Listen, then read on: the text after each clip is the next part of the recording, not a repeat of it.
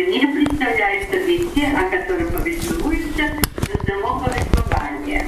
Таким образом, опираясь на гносеологию Канта, наратор, рассказчик представляет действительность не такой, какая она есть, а такой, какой он ее видит. Итак, режиссер ставит роман «Идиот» согласно бахтиновским пониманиям повествования у Достоевского. Скажем, что речь об экологии гротекста, э, гротеска, о которой мы оказываемся в состоянии вечно динамического бытия, при котором любая завершенность, населена на последнюю правду, на монолог оказывается невозможной. В этом ключе события художественной прозе Достоевского это событие воображения. В рамках такого романа дать ответ со стороны автора не представляется возможным. Я здесь цитирую Маковцева. Авторы, опираясь на полифонию и карнавализм, ставят пьесу в стиле тотального театра, в котором стираются границы между иллюзией и реальностью. В этом смысле драматург обращается к публике и приглашает ее прийти и играть в публику. Спектакль, в котором трудно разобраться, что есть истина, а что ее изображение. В князе Мишкине две правды. Он как бы Христос, то есть добрый человек, но без опоры на Бога, так как Бога для автора в пьесе вовсе нет. Его нет потому, что э, нет того, кто в этом может убедить умирающего 70-летнего мальчика Ипполита. Но если нет Бога, нет и Христа, тогда его место занимает Антихрист. Антихрист, антихристовство. Мишкина подчеркнуто его наполеонизмом. В сцене с генералом Иволгиным последний передает первому наполеоновскую шапку, говорит, вот князь это для вас, и Мишкин сидит в двууголке с кисточкой, не то шут, не то Наполеон. Какой-то двухэтажный образ, да?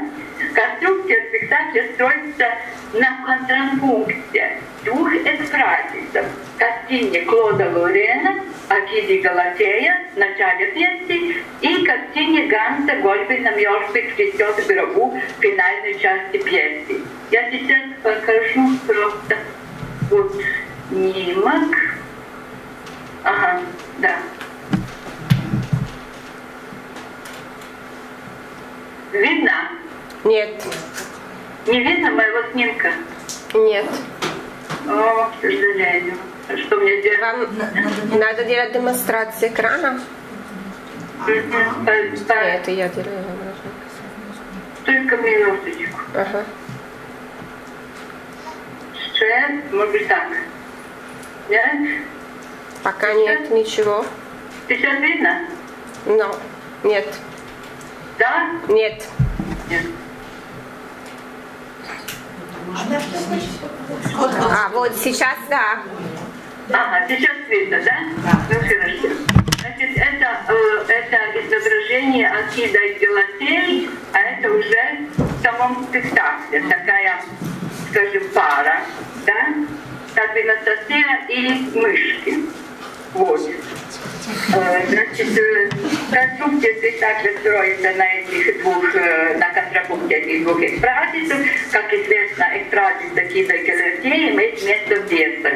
В грезах о золотом веке Николая Ставрогина. Как пишет Кристева, это изображение идиллии юного пастиха Акида и Нимфи э, Галатеи, за которыми наблюдает разгневанный, но э, на время усмиренный циклоп. Вот можем посмотреть эту картину.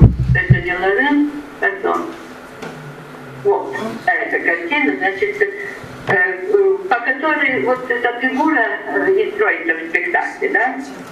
И что значит? э, Это, это э, эдипиальный нарциссический рай, нарциссический, нарцисс, нарциссический рай. Золотой век находится вне времени, поскольку он отделен от желания умертвить отца и погружен в фантазм всемогущества сына, нежащегося в лоне нарциссической Аркадии. Пьесе «Экфразисом» Акида и Галатея представлена швейцарская идиллия князя Мишкина и Мари. период до телесного пробуждения князя, крика масла, после чего он ушел вместе с ослом, как Христос, который на осле въезжает в Иерусалим, едет в обезвоженный Санкт-Петербург. Песня место действия представлена именно таким. Я сейчас просто покажу, как выглядит сценография. Место действия представлено именно таким местом без Бога. Посередине сцены огромный трехметровый крест, крест, да, то это не, э, ну это не настоящий, конечно, крест, это какой-то богохульственный крест, составленный из игральных автоматов. Э, значит, не крест, а согласно, скажем, толкованию апокалипсиса Лебедева, какая-то полынь звезда, подножие которой копошатся и бесчастно актеры действия. И среди них шествует князь, обаятельный юноша, он весь белым, все его любят и все ненавидят, будто, будто добрый, но никому не приносит добра. Он Христос, но он и антихрист, э, каким видит его Лебедев. И в тексте песни это и озвучивается. Лебедев прямо, мы знаем, что в романе ассоциации на, у Лебедева, в реплике Лебедева ассоциации на антихриста, но здесь они озвучены. Он прямо ему говорит, ты антихрист, да? И, э, значит, он так ему и говорит. Но он, э, да, любимые занятия вот этого Мишкина антихриста по трактовке авторов всматриваться в лица умирающих. Это лица приговоренного, несколько секунд исполнения казни, лица базовского мертвого лица, э, лица страдающие смертельной муки Настасьи Филипповной. И вот в финальном эпизоде пьесы, я сейчас покажу финал,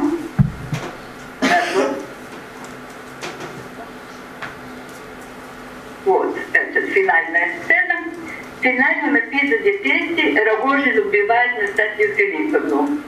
Но не так, как в романе за кулисами действия, а прямо на сцене. Он ставит ее хрупкое тело на стуле, в позу мертвого Христа Ганса Гольбейна и ритуально пронизывает сердце ножом. Все это делается при внимательном, может быть, даже хладнокровном наблюдении Мишкина.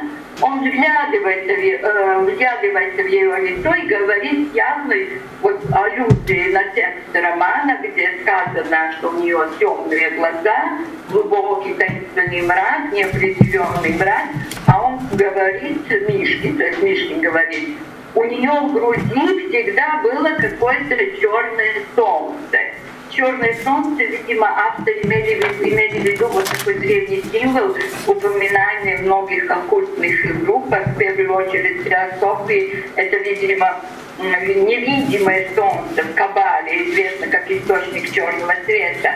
Черный цвет означает внутреннее, скрытое, то есть оккультное солнце, внутренний глаз, Божий глаз ну, так я понимаю, по крайней мере, что они имели это в виду. Если вот такая трактовка, э, то есть можно сказать, что авторы даже подошли к идее воскресения, но без Мишкина. Так как Рожин отвечает, Рогожин отвечает Мишкину. Черное, брат, он говорит, это черное у нее солнце будет, да, черное, брат мой, во Христе. А какого цвета твое солнце, Мишкин? каким цветом ты озарил меня то утро в поезде. То есть он как бы видит в нем антихриста и убегает от него. Князь, то есть антихрист, пытается догнать его, однако он не успевает и проваливается в мрак эпилептического, у него эпилепсия начинается, и вот этим как бы все кончается. Но есть еще и эпилог пьеса не заканчивается этим, уже в качестве эпилога автор предоставил слово самому князю Мишкину, то есть актеру, вот этому мальчику, Луке Горбачу, который читает собственное стихотворение, написанное под влиянием под влиянием личного опыта встречи с князем Мишкиным. Стихотворение довольно длинное, но прочту только его конец. Он говорит, Свет — это я, это ты, это все мы. И все есть одно. Теперь чувствую, какой я красивый. Правда, что князь однажды сказал, красота спасет мир. Можем ставить вопрос, что это такое? Может быть, гимн красоте, гармонии, единства? Может быть, режиссер решил в конце отречься от бахтинской идеологической структуры, вот этого принципиального разноголосия, и закончил пьесу таким монологом. Или вот есть еще вариант, что это опять-таки гротеск, так как актер читает стихи с экрана мобильного телефона, из которого светится уже нечто, да, другой. Может быть, это даже искусственная интеллигенция. То есть он разговаривает телефоном, тут уже свой, не один он. Ответ надо, конечно, искать у публики, была ли ей предоставлена событийность романа авторская траектория, ведущая к событию всех событий, к воскресению, и пусть даже за рамками самого текста, трудно на это ответить. Какие-то пути, может быть, есть, но вряд ли того было. Ее просто э, заслонила баскинская система, которая, кажется, режиссеру была важнее голоса автора. То есть той основной идеи, которую сам Достоевский рекомендовал сохранить будущим театральным постановщиком его романа. Помните, когда он писал, как надо ставить его вперед, надо вот сохранить его идею. Вот это. Спасибо за внимание. Спасибо да. большое. Есть ли вопросы? Да, есть ли вопросы. Сейчас Татьяна. Не забыть. А, можно, наверное, выйти из демонстрации экрана, чтобы вас... Да, да, да. Дениса, здравствуйте. Спасибо вам большое за великолепный доклад. Мы будем очень ждать статью, потому что это все очень интересно. Вот, а, да, все, все картинки, если как бы можно, все опубликуем.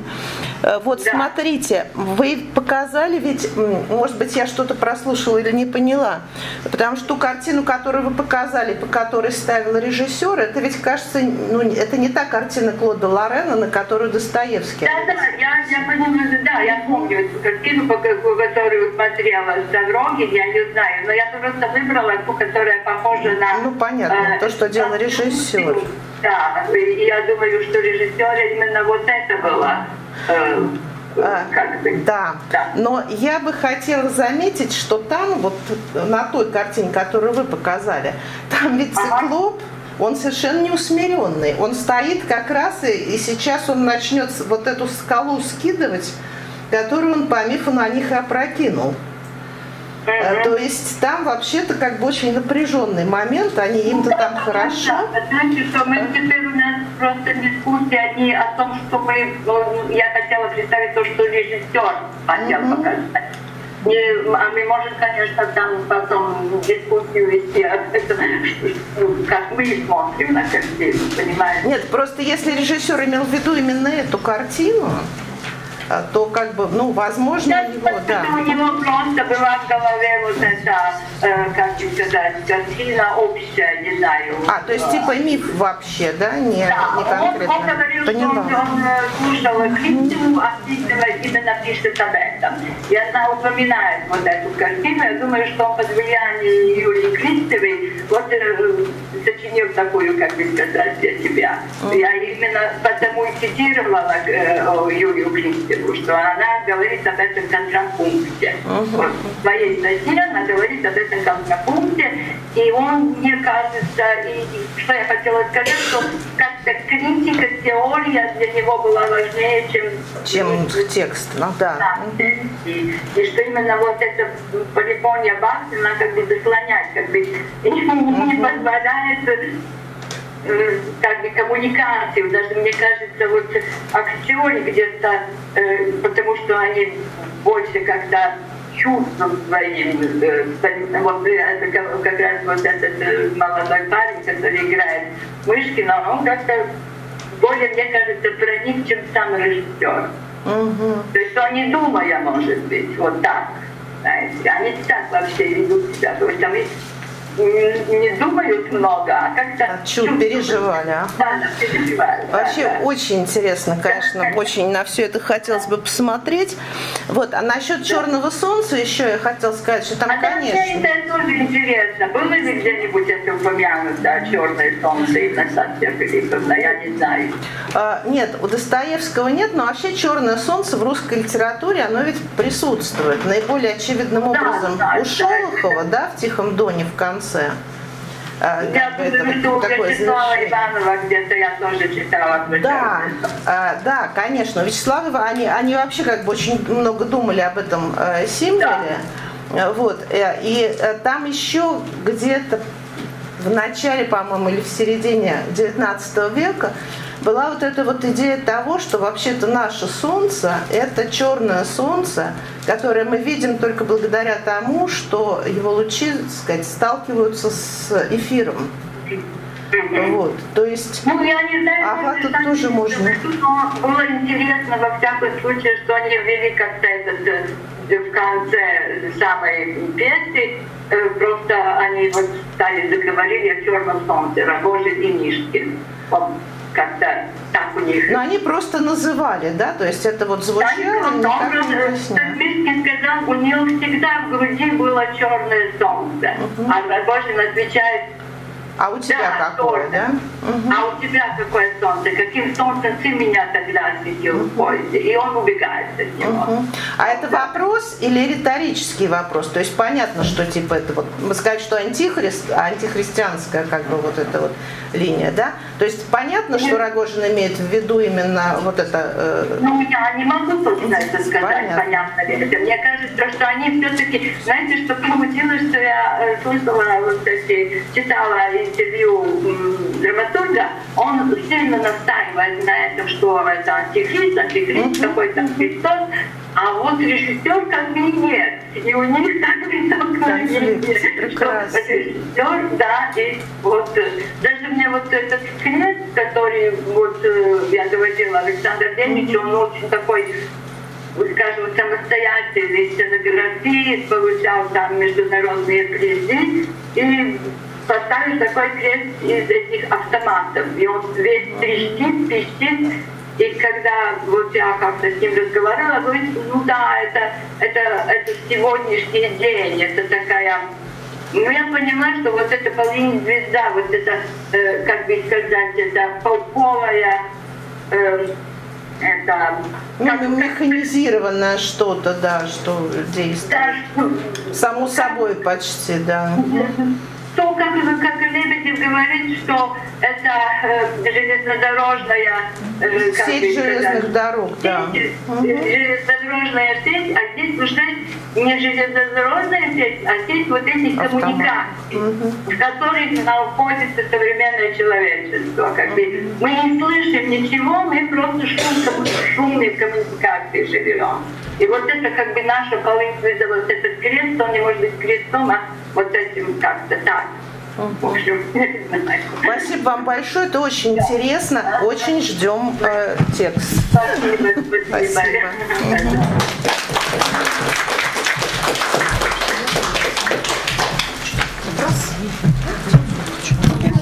Э, если нет других вопросов, еще, тогда э, спасибо, Ниса.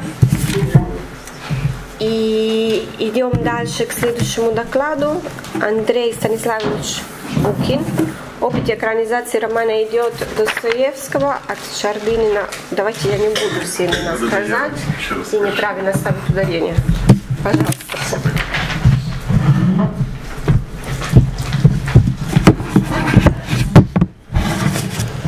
А, уважаемые коллеги, дорогие друзья, а, я озвучу, как э, называется мой доклад. Опыт экранизации романа «Идиот» Федора Михайловича Достоевского от Чардынина и Курасавы до Вайды и Бортко.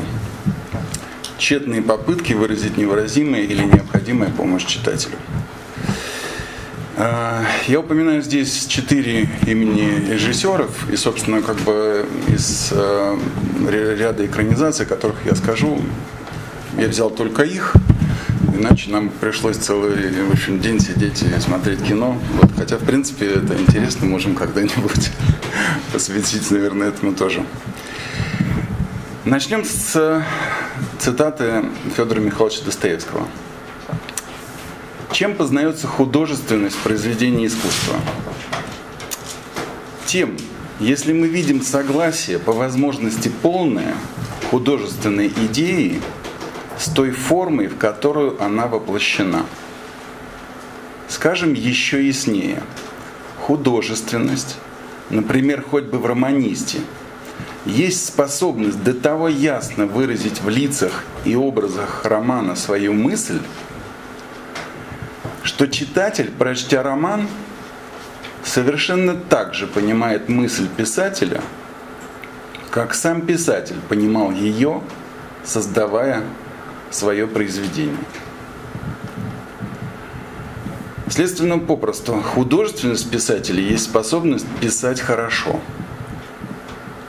Следственно, те, которые ни во что не ставят художественность, допускают, что позволительно писать нехорошо.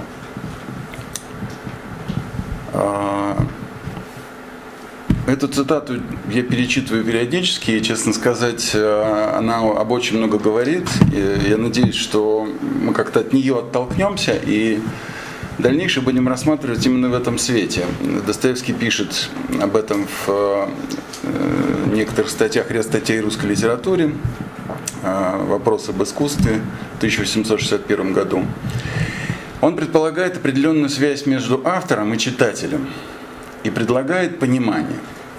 Мы предположим такую же связь между автором и зрителем, то есть перефразируем высказывание для кинокартины. Зритель, посмотрев кинокартину, совершенно так же понимает мысль режиссера, как сам режиссер понимал ее, создавая свое произведение. Здесь сразу есть одно одна лакуна такое, да, потому что автор, режиссер задумывает свои произведения, делая киноверсию, делая экранизацию романа, он должен хорошо понимать, что подразумевал автор в этом произведении. То есть до нас уже два звена, до зрителя два звена, где может быть потери смысла, потери идеи. Поэтому мы с вами не очень э, в хороших условиях. Говоря о киноверсиях, будем употреблять слово кинокартина, какой бы длительности ни была экранизация. Будь то работа Петра Чердынина, это первая экранизация 1910 года, продолжительностью 13 минут, или 10-серийный сериал Владимира Бортко длиной в 520 минут. Каждая экранизация – это художественное произведение, кинокартина, в которой автор пользуется данными, данными ему художественными средствами для того, чтобы выразить тот образ и те идеи, внутренние смыслы, заложенные автором в свою книгу, и, как было сказано выше, понятые тем, кто на основе романа пытается донести до нас идеи Достоевского в романе «Идиот». Также будем учитывать, что в каждом времени и в каждой культуре существует свой, свойственный этому пространству и времени киноязык. Поэтому, возможно, первая в истории экранизации эпохи немого кино может казаться смешной, наивной, для зрителя 21 века, уже привыкшего к спецэффектам, дополненной реальности 4D и 5D, и, в общем, Италия D. В то же время позволю такой пример. Начале XIV века один из величайших художников итальянских в истории, Джотто ди Бондоне, создает в Падуе, конечно, не в одиночку, шедевр э, фрески капеллы Скровения, которые и в эпоху раннего Возрождения, и сейчас, спустя 700 лет, завораживают своей глубиной, силой, высокими чувствами и символизмом – Некоторые даже смело называют эти фрески, созданные на основе золотой легенды рождения Богоматери и дальше описывающие библейский цикл от Благовещения до Вознесения, первым кинофильмом. Настолько фрески Джотто напоминают киноленту с кадрами событий, окольцовывающие внутренние стены капеллы Скровения. То есть мы даже там внутри капеллы можем вот так вот ходить, спускаясь с одного уровня на другой. Эти фрески никто не обвинит в наивности или отсутствии элементов перспективы или еще каких-либо художественных приемах, ставших общим местом живописи спустя сто лет. Значит, вопрос не в наличии особых средств выражения, а, возможно, как раз способности художника, в нашем случае режиссера, дотянуться до высоты первоисточника, стать хотя бы ненадолго на одну ступень рядом с тем произведением, о котором он хочет рассказать будущему зрителю. Есть и другая сторона медали. Возможно, все мы сталкивались с ситуацией, когда мы смотрим какую-либо экранизацию в надежде, что видение, взгляд и подходы режиссера, автора экранизации, совпадут с нашим внутренним ощущением, с нашими ожиданиями. То есть как будто мы просто хотим подтверждения того, как мы поняли и представили себе облик и образ героев. И в большинстве случаев испытываем разочарование именно от разности взглядов, несовпадения точек зрения и так далее. И здесь позволю еще одну цитату. Э, еще в V веке до нашей эры Сократ говорил о том, что истина никому не принадлежит, и ее нельзя просто переложить из одной головы в другую. Она рождается в каждом человеке, и это процесс максимально индивидуальный. И если перенести его на нашу тему, он означает, что и очень много, если не все, зависит именно от смотрящего, от зрителя, который, обращаясь к художественному произведению, будь то фреска или кинокартина, так же, как в случае с режиссером, может и способен подняться до высоты тех смыслов, которые автор первоисточника нам оставил. У нас с вами примерно 25 экранизаций, ну, изве, широко известных экранизаций э, романа «Идиот», начиная с постановки в России, СССР, Италии, Германии, Японии, Франции, Бразилии, Польши, Испании, Индии – Югославии. В некоторых странах, э, особенно в Японии, к экранизации обращались несколько раз. Небольшой анализ некоторых версий. Начнем с последней версии, одной из последних, уже 21 века, сериала Владимира Бортко. Русский режиссер, имеющий опыт сложных экранизаций, ставит сериал, а значит не скован временем с великолепными русскими актерами. Я упоминаю русский, подразумевая, что он хорошо знает язык, что он хорошо понимает Достоевского в этом смысле. Возможности уже в 21 веке для работы с цветом, монтажом безграничны. И для многих этот сериал лучшая экранизация, идеальное воплощение на экране романа и его героев. Мышкин в исполнении Евгения Миронова, Рогожин Владимир Машков, Иванчина Инна Чурикова, генерал Иволгин Алексей Петренко, Лебедев Владимир Ильин. В общем, что не имя актера, то звезда. По сравнению с немым фильмом Петра Чердынина, где мы не слышим слов героев, и по сути уходит одна из главных составляющих – слова, текст, версия Бортко кажется идеальна. При этом выскажу только свое личное мнение, что от сериала иногда остается ощущение, что самые важные сцены романа выглядят тускло, как будто образы Достоевского вдруг теряют внутреннюю силу. Отдельные дивертисменты от великих актеров не спасают, я, например, испытал разочарование, пересмотрев сериал. Хотя именно эта версия максимально приближена к тому, что описано в романе. По возможности сохранен текст, диалоги героев не слишком редуцированы, и действие происходит в декорациях Петербурга и Павловска XIX века. Хотя очень интересно э, взять текст и в некоторых сценах просто смотреть, э, что выпадает из текста в этой экранизации. Я вот рекомендую какой-нибудь такой маленький опыт произвести, потому что иногда становится ужасным, потому что некоторые важные слова, они просто вот, ну, редуцированы, выкинуты. Что отличает версию Акиры Курасавы 1951 года? Он переносит место действия в современную послевоенную Японию, делая местом действия полуостров Хоккайдо. Героям не только изменяет имена, но даже синтезирует в некоторых одного-двух героя Достоевского. У него даже сестер Япончиных две. А, но подобно тому, как делали старые а, художники эпохи Возрождения, подобно фрескам Мазачио в капелле Бранкачи, церкви Санта-Мария-дель-Кармен или фрескам Герландая в соборе Санта-Мария-Новелла в Флоренции, Курасава делает зрителя участником событий. Все, что происходит в романе, происходит здесь и сейчас. Время и место, послевоенная Япония и главный герой – бывший военнопленный. То есть это 1951 год, то есть это ровно то, что видят зрители, это происходит с ними. Зрители не чувствуют пропасти времени и пространства, которые стоят иногда, когда мы смотрим экранизацию событий, произошедших века назад. Несмотря на то, что в японской версии совсем отсутствуют важные части текста, например, рассказы Мышкина о жизни в Швейцарии, у нас нет ощущения потери. У Карасавы великолепно используется звук, музыка, он удивительно работает с символами. Мы все время находимся в э, пространстве между холодом и теплом, между снегом и огнем.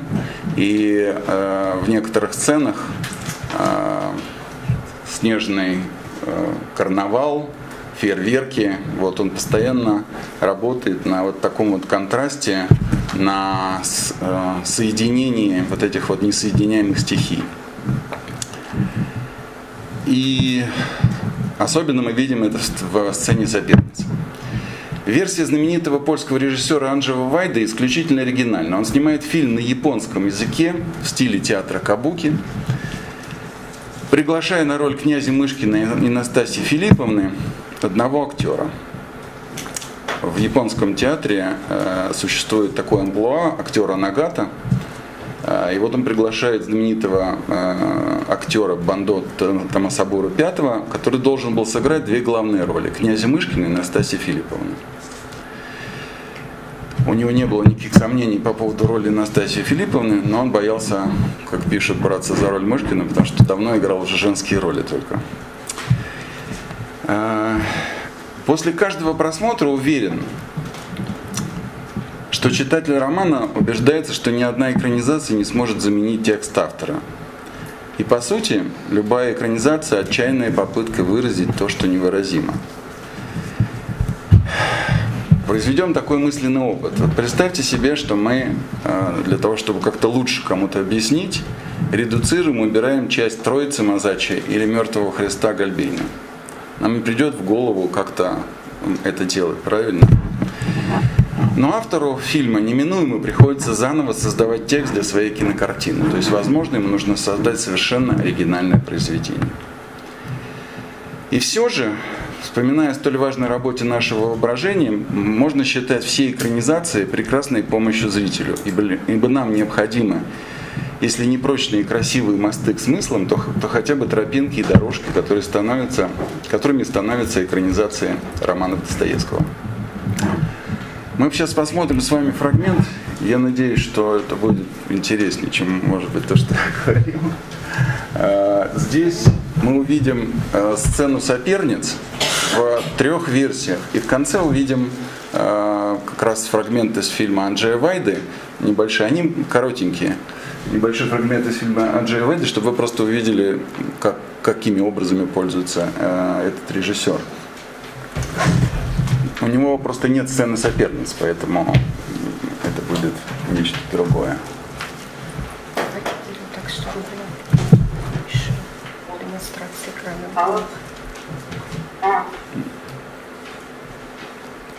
Окей. Отлично.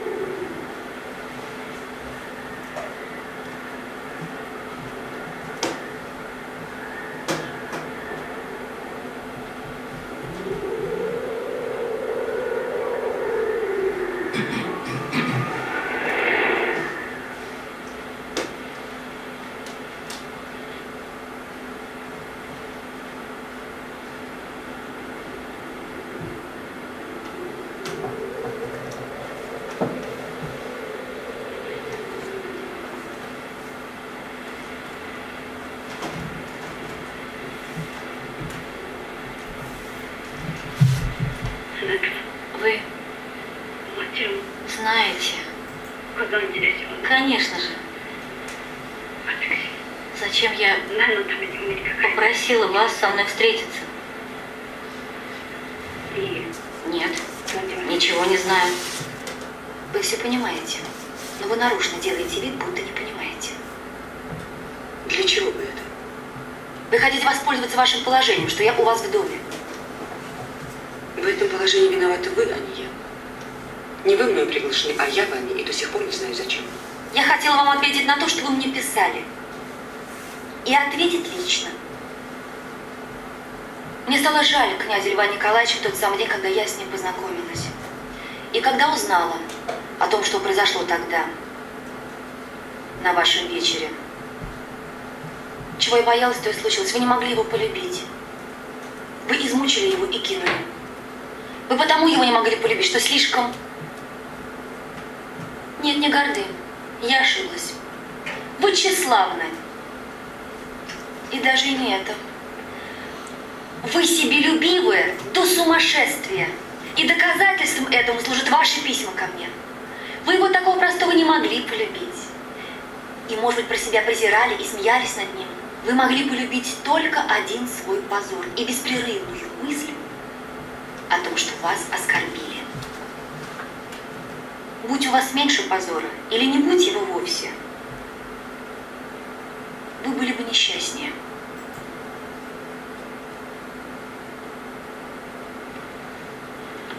Вы знаете, он написал мне письмо. После письма я стала ждать. Я угадала, что вы должны приехать сюда. Потому что вам ведь нельзя без Петербурга. Вы слишком молоды и хороши собой для провинции. И когда я вновь увидела Льва Николаевича, то мне стало ужасно за него больно и обидно. Не смейтесь, потому что если вы будете смеяться, то вы недостойны это понять. Вы видите, что я не смеюсь. Впрочем, и все равно смейтесь, как вам будет угодно. Когда я стала его спрашивать, он сказал, что давно уже вас не любит. Что даже воспоминание о вас для него мучительно. Но что ему вас жаль. И что когда он припоминает о вас, то сердце его точно пронзено навеки. Я должна вам сказать, что я ни одного человека не встречала в жизни, подобного ему по благородному простодушию и безграничной доверчивости. И я угадала, что всякий, кто захочет, тот и может его обмануть. И он потом всякому простит. Вот за это-то я его не полюбила.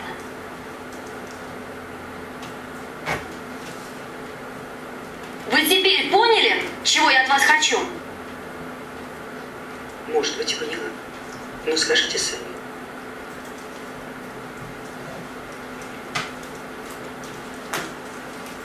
По какому праву вы вмешиваетесь в его чувства ко мне?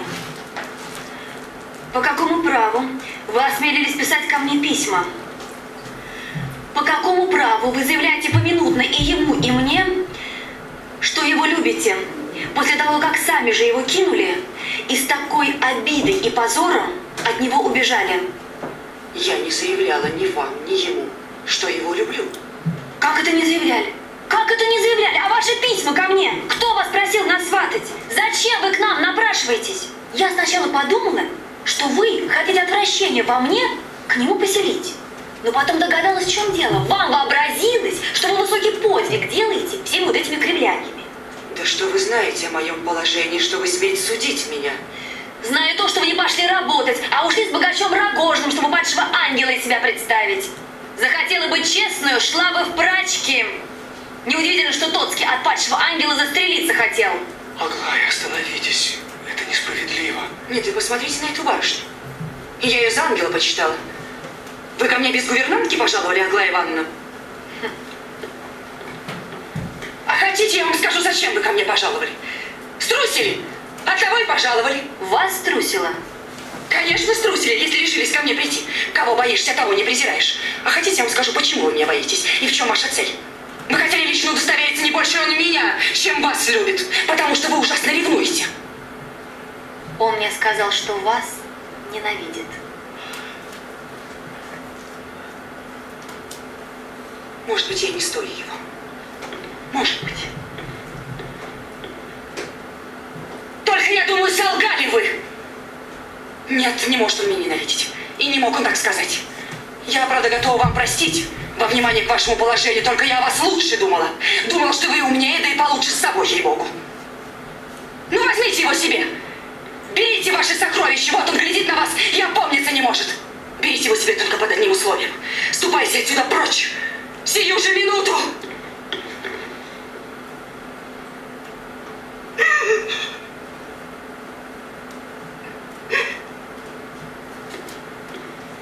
А хочешь, я ему сейчас прикажу, слышишь? Вот только сейчас прикажу им тотчас же бросить тебя и останется при мне и женится на мне. А ты побежишь домой одна. Хочешь? Хочешь? А хочешь, я прогоню Рогожина? Ты думала, что я уже повенчалась с Рогожиным для твоего удовольствия? Вот сейчас при тебе крикну. Уйди, Рогожин! А князю скажу. Ты помнишь, что ты мне обещал? Помнишь? Господи, да для чего же я себя так унизила? Да не ты ли, князь, не говорил, что пойдешь за мной, что бы ни случилось? Что ты меня любишь, что ты мне все прощаешь, что ты меня уважаешь, ты помнишь? И я только для того, чтобы тебя развязать от тебя убежал, а теперь не хочу. Да за что же она со мной как с беспутной поступила? Беспутная ли я? Ты спроси у Рогожина. А теперь, когда она меня унизил, да еще в твоих глазах, ты от меня отвернешься, а ее с собой под ручку уведешь. Да будь же ты проклят. Будь же ты проклят за то, что я в тебя в одного поверила. Уйди, Рогожин, тебя не нужно. Вот он, смотри. Если он сейчас не подойдет ко мне, не возьмет меня и не бросит тебя, то бери его себе. Уступай, мне его не надо.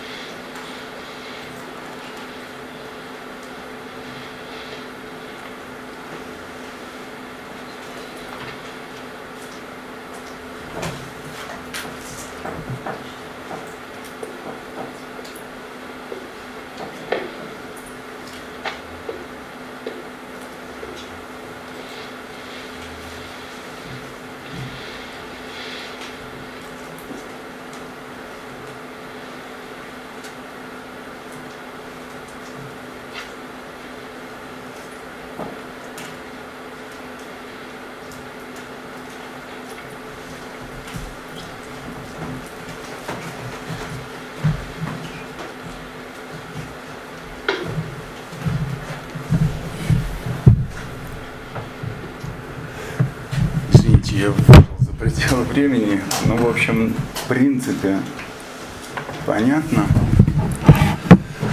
А, если есть какие-то вопросы. Нет времени на вопросы, извините. А я надеюсь, что завтра мы сможем тогда к этому вернуться, потому что у меня тоже масса вопросов, и вообще все это очень интересно. Спасибо вам большое. Спасибо. Последний доклад до э, Дальше Последний доклад до паузы Ольга Сергеевна Кочеткова об одном принципе построения романа Шиго «Диалоги Дони Тарт с Достоевским».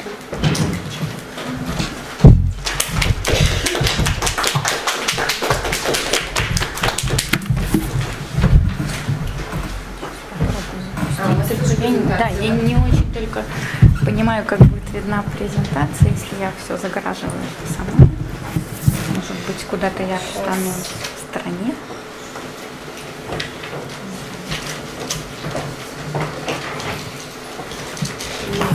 Вам видно? вот, вот так вот, потому что да.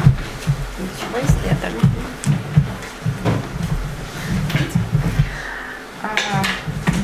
кажется, что мой доклад больше будет посвящен именно читателю 21 века э, Федора Михайловича Достоевского и читателю творческому, а именно читателю, который является профессиональным писателем.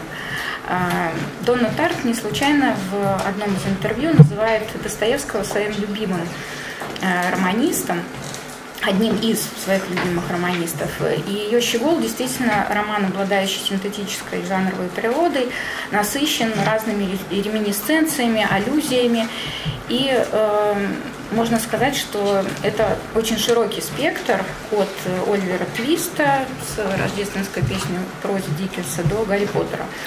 Но, на мой взгляд, основополагающим писателем для этого романа, э, для Донны Тарт, является все-таки Федор Михайлович Достоевский. А вообще о литературном коде Достоевского писали уже неоднократно в этом романе. и отмечали связь с разными произведениями писателя. Но мне кажется, что в этот список еще должны попасть и раннее творчество, например, «Белые ночи» или «Меточка незваного». Но э, важнейшим э, таким в диалоге Донны Тарт и Достоевского аспекте, аспектом на мой взгляд, является принцип построения романа, который Донна Тарт заимствует Достоевского или, возможно, чувствуют как бы в Достоевском, это принцип э, иконографический. А, и в этом плане я тоже обращаю вас к работам исследователей, в том числе Татьяны Александровны, которая, э, по-моему, замечательно разработала эту э, тему. И применительно вот к роману «Идиот» несколько источников здесь представлено. А, можно заметить, э, что текст романа «Щегол» строится на двух зеркальных фрагментах, на первый взгляд дублирующих друг друга в начале и в конце произведения. Слово или же исповедь Тело, по сути, весь роман, организовано и мотивировано сном о матери, увиденным героем сочельника и ведущим мальчика с черепом, так называется первая глава, к месту встречи мистическому осмыслению пройденного в одиночку пути и видению бессмертия, катарсису, преображению героя в финале. Значение взаимно отражающихся эпизодов не ограничивается приемом концевой композиции. Два описания одного и того же события, с одной стороны, служат знаком возвращения героя к собственной сущности, обретения им своего имени, а с другой задают две точки зрения на единый образ, являя в слове изображение – непосредственно отсутствующее, но латентно присутствующее в тексте и в художественном пространстве романа. Представляя изображение, к которому восходят э, все темы и мотивы романа, первый фрагмент выполняет прежде всего сюжетно интригующую функцию. Однако уже здесь отражение в зеркале, описываемое как лицевой портрет, это слева э, фрагмент размещенный, поражает героя своей энергетикой и живым эмоциональным зарядом. Финальный эпизод возвращает читателя к исходной временной точке, это сочельник. Однако теперь момент раскрывается во всей полноте, преображая портретный образ в иконический. Смещаются акценты изменяется фокус зрения героя. Визит с того света превращается во встречу. Если ей позволено, цитата, было навестить меня всего лишь раз, то она пришла ровно тогда, когда нужна мне была больше всего. Конец цитаты. Мотив ужаса приобретает внутреннюю мотивировку. Состояние героя вызвано ощущением пустоты и одиночества, экзистенциальной заброшенности. И потому ее явление, здесь есть такое достоевское слово «вдруг», и в том числе в оригинале «садан», то есть переводчик отлично здесь работает, на мой взгляд, а, оценивается как активное действие с ее стороны. Она приходит, она смотрит, то есть она говорит с ним как наконец. Показательное имя главного героя Тео, которое в переводе означает «дар Божий». Дар здесь и объединяющая мать и сына начало, и спасение, исходящее от матери, и энергия жизни, утраченная сыном, и сам Тео, неосознанно транслирующий читателю сакральную идею спасения. А ведь имя Тео, Теодор, как уже было замечено исследователями, прочитывается и как Федор. Преодоление границы между героем и явленным ему образом восстанавливается, восстанавливает нарушенное единство мира. Э, цитата. «Какими бы они ни были правила этого места, но мы с ней могли друг друга видеть». Конец цитаты который приобретает идеальную форму сферы. Здесь есть мотив, все кругом возвращалось к ней, как бы она средоточие кардинально меняется восприятие отражения в зеркале во втором фрагменте. Мать находится позади сына и вместе с ним перед ним, поскольку их взгляды сходятся в одной точке. Цитата «Увидел в зеркале позади меня ее отражение» или «Наши глаза могли встретиться в зеркало». Конец цитаты. Она открывает ему пространство вечности, как будто проводит его в мир света или бессмертия, цитата. Она стояла между мной и тем местом, тем потусторонним пейзажем, конец цитаты. За ней, таким образом, пространство, понимаемое как окно, более реальная реальность. Комната, которая обстановкой э, очень напоминала магазин «Хобби», а точнее более просторную, более вневременную, как пишет Тарт, версию этого магазина. Окно открыто, словно вход в какой-то огромный, невообразимый театр света. Идеально выстроенная гармония, окруженная глубочайшей тишиной, неподвластной звуком и речи. Конец цитаты. Основным каналом восприятия оказывается зрение. С лица матери как будто исчезают веснушки, э, которые есть в первом отрывке, и остаются одни глаза. Цитата. Ее прекрасные голубые глаза с черными кружками вокруг радуги, светло-голубые глаза, сияющие светом. Ну, здравствуй. Тео поражает сущность переживаемого им опыта. Герой чувствует через мать вечную жизнь и познает преодоление смерти. Цитата. Хотя она и не была жива, не совсем, она и не умерла, потому что она еще не появилась на свет – и в то же время никуда не исчезала, точно так же, что странно никуда не исчез и я. Конец цитаты. Ее образ излучает свет, энергию, знание и силу. И если вспомнить, что мистическая встреча происходит накануне Рождества, естественным образом перед глазами читателя, для которого бэкграундом служит роман «Идиот Достоевского», вспомним разговор Бориса и Тео о, об этом романе, э, возникает вид Богоматери на э, иконе знамения. Э, герой Тарт не осознает в полной мере, какого рода метафизический опыт переживает. Но сакральный смысл сна обращен для него к живописному образу. На скрытость иконического изображения в его сознании указывает образ зеркала, которое разворачивает перспективу, делая окно отражением, а икону картину. То есть он картинами как бы мыслит. Показательно также, что во втором варианте описания сцены два абзаца. Ну, вот, если мы вернем там тот слайд, да, то видно, что два абзаца есть. А, и первый абзац э, связан с тем, как Тео видит себя в пространстве вечности, а потом уже себя вместе с матерью.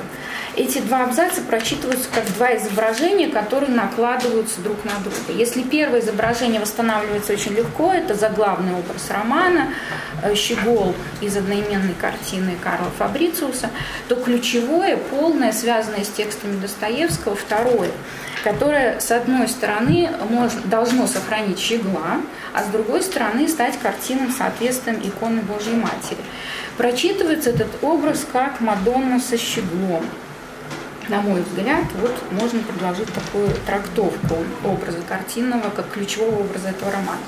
Для понимания романа Тарт важно не только присутствие щегла на картине Рафаэля, но и треугольная композиция полотна, на котором у ног Мадонны с книгой изображены на одном уровне Иоанн Креститель, держащий щегла, и Христос, тянущийся к птице. Если образ Тео проецируется в романе на образ Христа, то роль Иоанна играет Борис, у которого картина находится большую часть времени, о чем не подозревает идиот Тео, так называется одна из глав соответствующих романа. И пока Борис не решается вернуть картину Тео и вернуться к самому Тео, в том числе в таком нравственном смысле. То, что у Достоевского было бы обращено к иконе, у Донны Тарт обращено к ее отражению, картине. Если у Достоевского герои выстраиваются в систему по принципу приближения к евангельскому слову или удаления от него, то у Тарт они оцениваются, исходя из их близости к живописному образу щегла. Слово у Тарт носит зеркальный характер, создавая реальность посустороннюю по отношению к потусторонней реальности слова русского классика. Очевидно, надежда современной американской писательницы в том, что спасение обретается в художественном слове предшественником, становящимся окном в вечность. Если допустить верность этой мысли, то можно объяснить особую роль, которую играет роман «Идиот» в тексте «Щегла». Как убедительно показывает Татьяна Александровна, центральный конфликт романа «Идиот» – это конфликт между картиной и иконой, между окном, выходом и зеркалом, замыкающим мир в его собственных пределах. Это была цитата. Ориентация западной культуры на Рождество и русской на Пасху, заметим, как у Донны Тарт на Диккенса и Достоевского, соответственно, в этом романе, осмысливается в «Идиоте» через ряд изображений, явленных в тексте или скрытых, но, по словам Татьяны Александровны, легко извлекаемых. Речь идет о картине Ганса Гальбейна-младшего «Мертвый Христос» и о втором изображении чудотворной иконе знамения. Идея воскресения Спасителя и вера в бессмертие у Достоевского напрямую соотносится с мыслью о непорочности и чистоте Богородицы, Девы Марии. Через понимание образа Мадонны в парной расстановке главных героев раскрывается идея, заложенная в образе князя Мышкина. Мышкин и Рогожин как полемика с ринановской жизнью Иисуса и Мышкин Анастасия Филипповна как сюжет о неудавшемся спасении. Такой же оказывается группировка героев в романе «Щегол». Недаром Борис понимает роман «Идиот» исключительно в этическом аспекте, рассуждая о соотношении непредсказуемых взаимосвязях добра и зла и страдания в мире. Рогожинское начало в нем контрастирует с поттеровской душой Тео. Гибель матери в сознании Тео и Велти в сознании Пипы, Тео и Пипа – это другая пара главных героев, оказывается навечно связанной не просто с катастрофой, но и с переживанием катастрофичности бытия. Это ощущение бездомья, метафизического сиротства и одиночества героев в романе «Щегол» углубляет проблему истинной веры, раскрытую в идиоте Достоевского. Через диалог с Достоевским Тарт как будто говорит, что спасительный смысл заключен в рукотворной вещи, хранящей в себе взгляд не только земного Творца, но и зрителя. Эта картина после картины. Остался лишь знак, стигмат, память, след от шипа тернового венца Спасителя. Э, христианские трактовки здесь можно вспомнить э, картины Фабрициуса. Холст, на котором человек видит не щегла как Божью тварь, а щегла как домашнюю птицу. Двойственность этого образа в балансировании на грани свободы, несвободы и сохранения, охранения. Мнимость разрушается только оригинальностью рукотворной вещи, живым дыханием в ней человека как сотворенного Творца. Отсюда ценность музея или антикварного магазина как пространство, сохраняющего подлинное искусство. Диалог Донны Тарт с Достоевским приводит к мысли о том, что трагизм современного человека, лишенного живой веры в Бога, в бытии на фоне пустой стены, в неизбежности жизни катастрофы, в условиях которой при утрате онтологических опор и ценностных ориентиров обрести себя, найти свой дом или хотя бы приют можно только в артефактах, созданных предшествующими поколениями и несущими на себе отпечаток божественной красоты – Мир спасет красота. Не эти ли слова автора «Идиота» дороже всего автору «Щегла». Спасибо большое за внимание.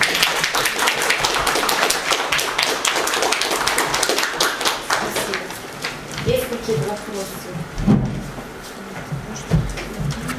Спасибо большое за доклад. Скажите, пожалуйста, вот, ну, на самом деле у меня больше вопросов, но поскольку у нас время ограничено, я хотя бы один э, задам.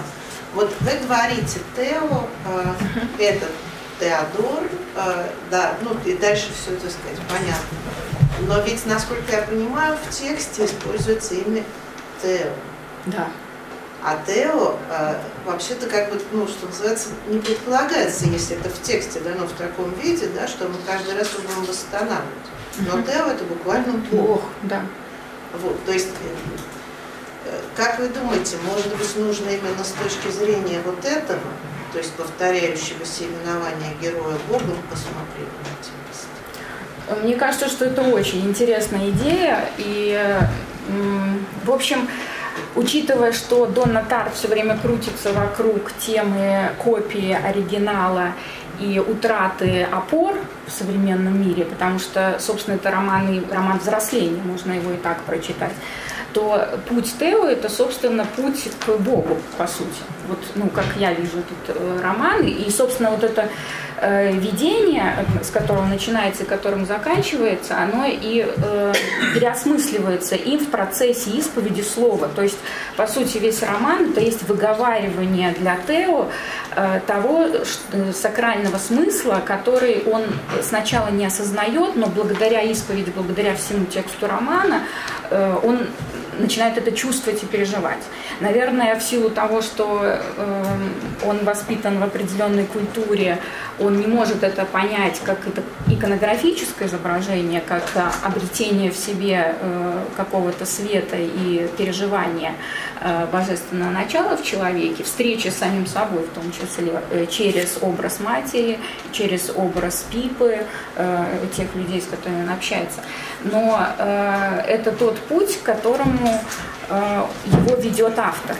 И мне кажется, что э, в этом заключается его своеобразное взросление и что ли обретение себя, открытие э, открытие именно какой-то божественной природы, при том, что человек может не осознавать уже в современном мире, что на самом деле с ним происходит. Э, а автор в силу того, что она обладает этой культурой и она обладает э, в том числе знанием текстом Достоевского и глубоким пониманием. Мне кажется, это э, писательница, которая э, глубоко, очень глубоко прочитывает Достоевского.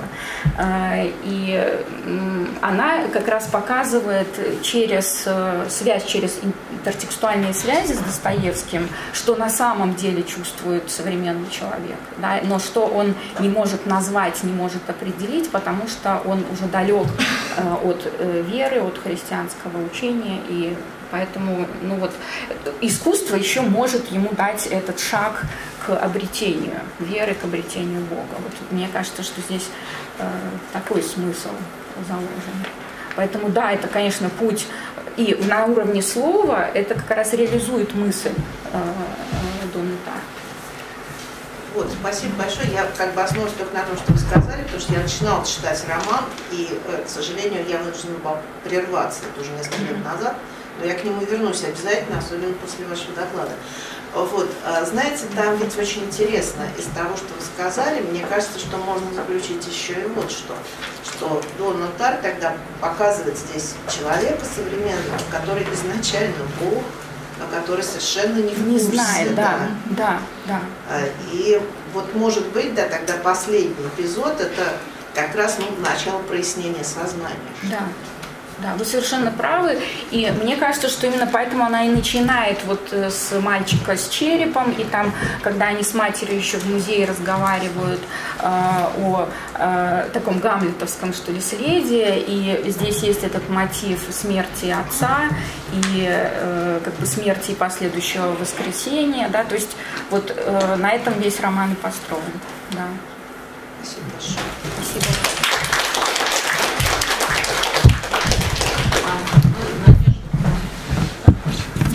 Хотела не спросить, я хотела просто замечание. Я просто, у меня перекличка небольшая есть с вашей темой. И ну, мне кажется, это важно, наверное, будет для вас. А, вот этот образ Мадонны со щеглу, он еще присутствует а, у Леонардо да Винчи, Мадонни Лити. Угу. Тоже вот можно там через окна, можно там как-то. Да, спасибо большое. Пространство. Да его техники. Да, ну я выбирала почему Рафаэля, потому что все-таки Достоевский мог в, э, видеть в галерее Уфицы э, эту картину, я предполагала, поэтому я все-таки выбрала именно это изображение. А вот, я не нашла, к сожалению, может быть, вот кто-то из э, специалистов поможет, э, действительно ли, есть ли какие-то сведения, вот я искала, я не нашла, что он э, мог видеть в Уфице ходил несколько лет каждый день. Значит, я думаю, что точно видел. У меня именно поэтому возник Рафаэль. Так что не сомневайтесь. Спасибо. Сейчас кофе-пауза в 12.30 продолжаем.